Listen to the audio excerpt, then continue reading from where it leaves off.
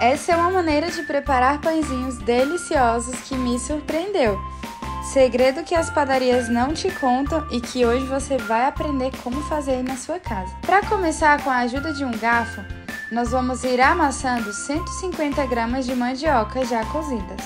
Em seguida, vamos acrescentar 150 ml de leite morno e vamos misturar tudo muito bem.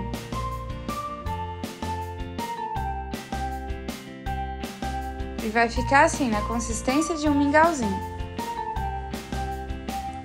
Feito isso, vamos acrescentar meia colher de café de sal e uma colher de sopa de açúcar e um sachê de fermento biológico. Agora é só misturar tudo muito bem, dessa forma.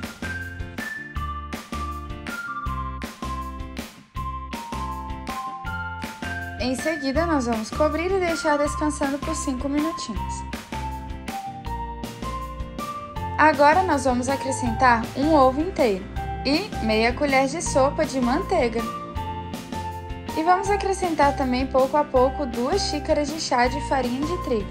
Vamos ir misturando bem até homogeneizar essa mistura. E já quero aproveitar para agradecer a cada um de vocês que nos acompanham. Muito obrigada por sua audiência, pessoal! E aqui eu estou acrescentando salsa a gosto. E vou misturar bem para que essa salsa possa se agregar dentro da nossa massa. Essa parte é opcional, tá? Se você não gostar, não precisa colocar. Agora é só cobrir e deixar descansar por 30 minutinhos. E este é o ponto da nossa massa. Agora, vamos untar uma forma de vidro dessa forma. Aqui eu estou espalhando com a ajuda de um pincelzinho. Vamos untar as bordas também, tá?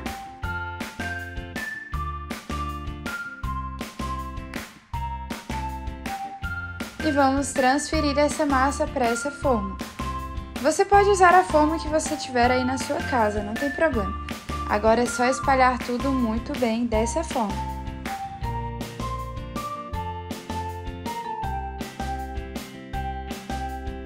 E vamos separar a nossa massa dessa maneira.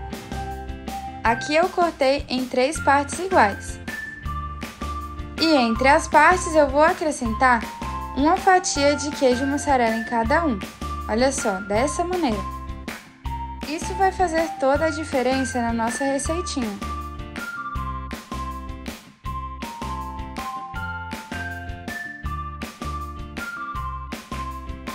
Agora é só cobrir novamente e deixar descansar por mais ou menos 30 minutinhos até dobrar de tamanho. E para ficar ainda mais bonito, nós vamos pincelar uma gema de ovo por cima dos nossos pães para que ele fique bem douradinho na hora que assar. Agora é só levar ao forno pré-aquecido a 180 graus por 30 minutinhos.